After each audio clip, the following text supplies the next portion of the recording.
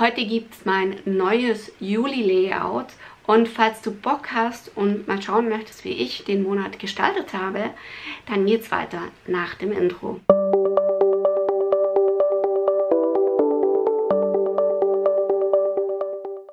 Willkommen in meinem neuen Bullet Journal. Jetzt ist es soweit. Ich hole euch mal noch ein Stückchen raus. Nein, andersrum. Andersrum. So. Ähm, ja, also das ist von Amazon, das verlinke ich euch mal unten äh, in der Infobox.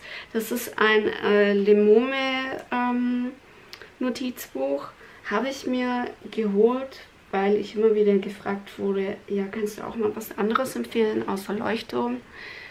Weil die Leuchtturmseiten ja auch ähm, sehr dünn sind und manche das einfach nicht mögen, wenn es durchdrückt. Also ich habe jetzt bei dem hier schon gemerkt, es drückt schon auch was durch, aber nicht so extrem. Weil die Seiten halt einfach dicker sind. Das ist übrigens mein Future Log, den ich äh, mir angelegt habe. Ich hoffe, ich kriege sechs Monate in das Buch rein, weil es halt einfach weniger Seiten hat, weil es dicker ist. So, und da habe ich schon verkehrt herum angefangen. Also das war dann wirklich ein Versehen. Normalerweise kommt hier immer der Monat hin und da das Cover. Also ich mache es normalerweise immer andersrum. Und das ist mir nicht so gut gelungen. Also ich habe wieder was auf Pinterest gesehen und bin nicht so ganz zufrieden. Also ich habe dann versucht, das Thema dann komplett wieder durchzuziehen. Die Monatsaufstellung, die ist gleich wie im letzten Monat auch. Und äh, ja, ich bin dann halt so auf die Idee gekommen, da einen kleinen Mond zu zeichnen mit ein paar Sterne, die da aufgehängt sind.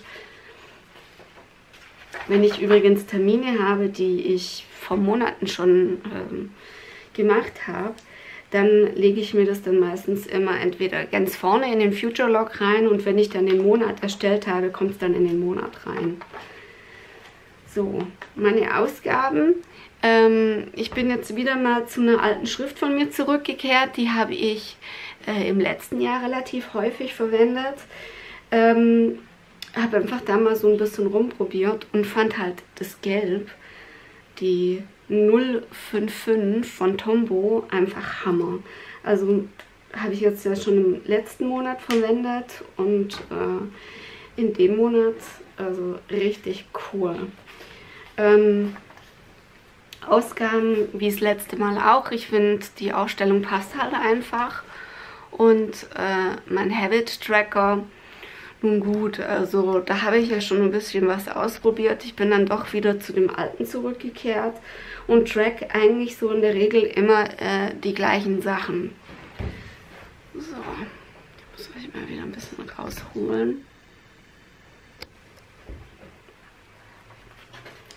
So mein Mood Tracker. Da habe ich dieses Mal dann kleine Sternchen gezeichnet und versucht es dann auch wirklich mit den äh, Farben, die ich ähm, mir geholt habe, die so ein bisschen ähm, Silber, Gold und so weiter, also die so metallisch sind. Ich werde es auch einmal mit Weiß machen, ähm, werde ich versuchen, das so auszumalen passt halt bei Sternen einfach am allerbesten. Allein a Day, äh, man sollte meinen, und ich denke es mir jedes Mal, wenn ich diese Übung mache, äh, es ist einfach nur was hingeschrieben, aber im Endeffekt tut es dir dann doch gut. Meine Ideen sind eben auch wichtig. Bei dem Lemome ähm, ist es halt hier ne, mit der so, du hast hier eine geriffelte Linie, falls du wirklich was versaust kannst du äh, das wirklich rausreißen. Meine Ideen sind wichtig, also da mache ich mal Brainstorming.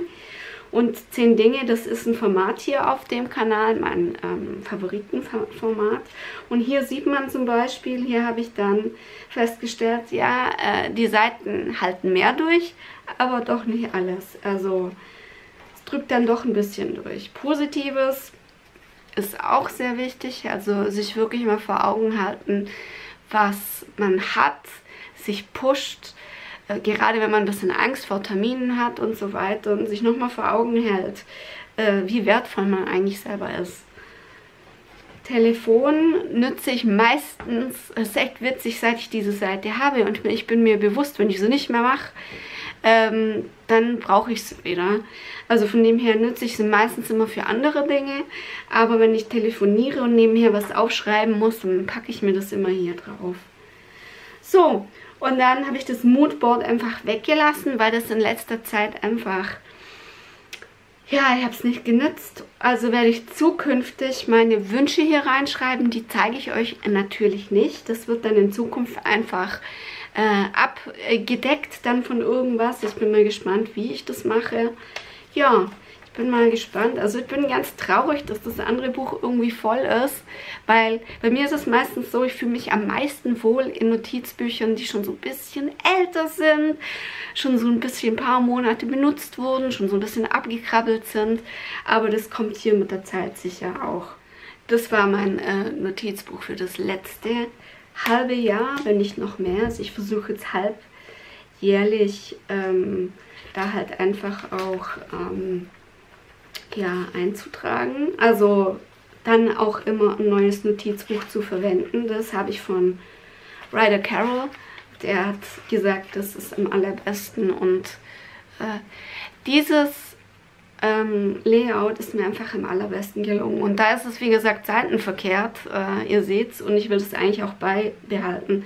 Dieses Layout habe ich... Ähm, ja auch wieder bei Pinterest gesehen, habe es jetzt nicht so haargenau abgemalt, aber so ein bisschen. Ähm, und äh, in dem Monat war ich unwahrscheinlich schlampig mit Aufschreiben, ja, also es war richtig übel. Stellenweise gar nicht aufgeschrieben, das habe ich so gerade die letzte Woche gemerkt.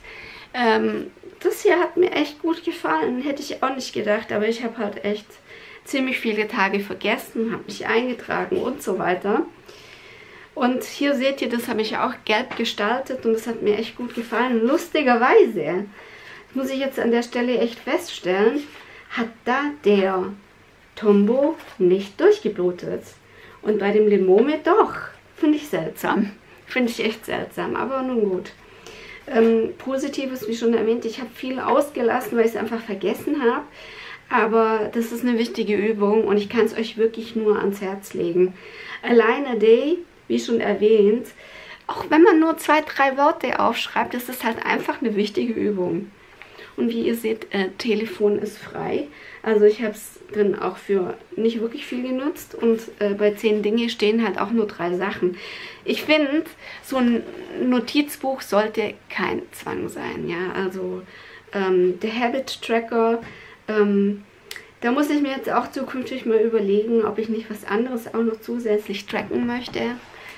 Und äh, die Ideen sind inzwischen schon wirklich wichtig bei mir im Buch geworden, damit ich einfach auch mal so ein bisschen festhalten kann, ähm, was ich eigentlich machen möchte und so weiter. Der Sleep Tracker ist wieder in der alten Form, da hatte ich ja im letzten Monat ja mal ein bisschen rumprobiert. Und ja, ähm, mein Vision Board ähm, ist äh, nicht sehr überzeugend. Deswegen habe ich es jetzt einfach weggelassen. Falls du selbst ein Bullet Journal führst, kannst du mir gerne mal was verlinken, wenn du Lust hast. Es ist immer geil, neue Ideen zu finden. Und äh, ich habe aber auch einen Bullet Journal Instagram-Account, den verlinke ich dir mal im ersten Kommentar. Und wenn du mich da markierst, dann sehe ich das auf jeden Fall, da bin ich regelmäßig drauf. Und ich würde jetzt einfach sagen, ich melde mich ab, bedanke mich bei dir fürs Einschalten. Gib mir einen Daumen nach oben, falls dir mein Video gefallen hat. Ihr wisst, mein Abo ist kostenlos und wir sehen uns beim nächsten Video. Macht's gut. Tschüss.